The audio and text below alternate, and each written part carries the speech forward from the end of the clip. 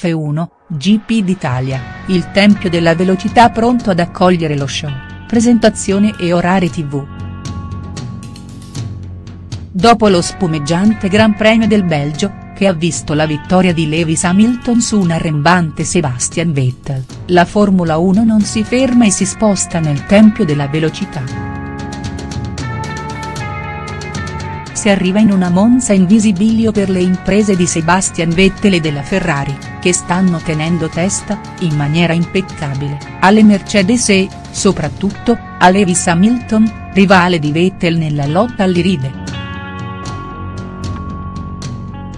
I due sono i due protagonisti principali di questo mondiale e stanno rubando la scena a tutti gli altri piloti del circus, tra i quali brillano, comunque, Daniel Ricciardo, sempre capace di dare il massimo nonostante una Red Bull non a livello delle prime due, e Fernando Alonso, che, nonostante una McLaren inguardabile, sta tentando anche l'impossibile per non far sfigurare la storica scuderia inglese.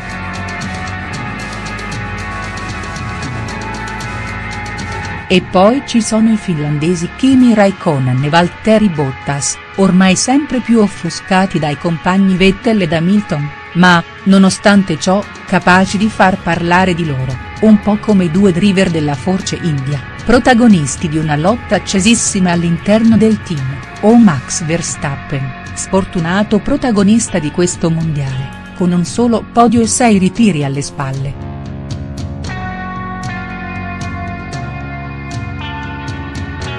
A Monza, ancora una volta, dovrebbero farla da padroni i motori Mercedes, ancora in vantaggio sulla Pau Ferrari, che, però, sarà sospinta da un pubblico in festa, pronto a spingere i due driver della rossa. I presupposti per uno spettacolare GP d'Italia ci sono, a parlare sarà come sempre la pista, Tracciato l'autodromo nazionale di Monza è il terzo autodromo permanente più antico al mondo, dopo quello di Brooklands non più in uso, e quello di Indianapolis. Costruito nel 1922, ha preso la conformazione attuale nel 1962, quando fu dismesso l'anello dell'alta velocità. Il layout attuale, che ha subito varie modifiche nel corso degli anni, è lungo 5,793 m. Sono solamente 11 le curve di Monza, di cui 7 a destra e 4 a sinistra, quasi tutte peraltro inframmezzate da lunghi rettilinei, che fanno del circuito Brianzolo il più veloce del calendario mondiale. Subito dopo il rettilineo della partenza troviamo la prima variante, che arriva dopo una fortissima staccata, che fa scendere la velocità dagli oltre 350 km/h ai 70 km/h a cui si percorre la curva. Il tempo di accelerare e si arriva alla curva Biassona, detta anche curva grande, che si percorre in piena velocità e porta alla seconda variante, detta anche variante della Roggia. si arriva in pieno ad oltre 320 km/h, per poi scalare fino in seconda marcia, in previsione dell'accelerazione all'uscita della curva, che dopo un breve rettilineo porta alla sequenza delle due curve di Lesmo. La prima si percorre in quarta marcia, tenendo una traiettoria che permetta di uscire con una buona velocità in vista della seconda di Lesmo. ancora una curva a destra, da percorrere a 160 km/h circa, che porta al lungo rettilineo alla cui fine troviamo la variante Ascari, lungo il rettilineo è presente una semicurva, curva del serraglio, che corrisponde con l'inizio della seconda zona di RS. Arrivati alla Scari si frena molto tardi cercando di mantenere velocità nella prima svolta secca a sinistra da quarta marcia. Dopo la frenata si affrontano in rapida successione tre curve sinistra-destra-sinistra che immettono sul rettilineo opposto ai box. Se percorsa bene con un buon setup, questa curva può permettere di guadagnare fino ad uno secondo. Una buona uscita può permettere di preparare un sorpasso sul lungo rettilineo che porta alla curva parabolica, da percorrere in quarta marca 180 km/h, che immette sul rettilineo d'arrivo. Record sul circuito Brianzolo, i record sono tutti targati Ferrari, capaci di trionfare in casa per ben 18 volte. Un record assoluto poiché nessun team è riuscito mai a trionfare così tante volte su un singolo circuito. Tra i piloti, svetta Michael Schumacher, capace di imporsi cinque volte davanti al pubblico che più lo ha amato in carriera, mentre il record della pista è di Rubens Barrichello, che nel 2002 quasi sfondò la barriera dell'1.21 e fermò il cronometro in 1.21.046. Favoriti come a Spa, i favori del pronostico sono tutti per Lewis Hamilton, forte di una Mercedes ancora in vantaggio sulla potenza pura. In Italia, poi, il team tedesco potrà sfruttare un motore senza limitazioni sull'olio, come imposto alla Ferrari, dunque potrebbe trarne un ulteriore vantaggio. Hamilton, dopo Spa è deciso a trionfare anche a Monza, così da agganciare Sebastian Vettel in cima alla classifica, come successo soltanto in Cina, al 2 grado GP stagionale.